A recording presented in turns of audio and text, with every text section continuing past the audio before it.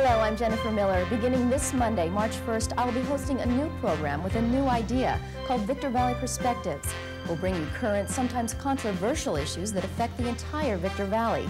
In a half hour beginning at 7 p.m. Monday through Friday, we'll take an in-depth look at events, problems, and people of the high desert. Topics will range from the ongoing battle for George Air Force Base to keeping our communities safe.